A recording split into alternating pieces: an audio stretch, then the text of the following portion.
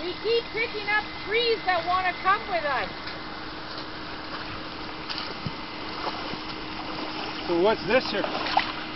Is this the bridge to nowhere or something? pretty much. Oh, is it?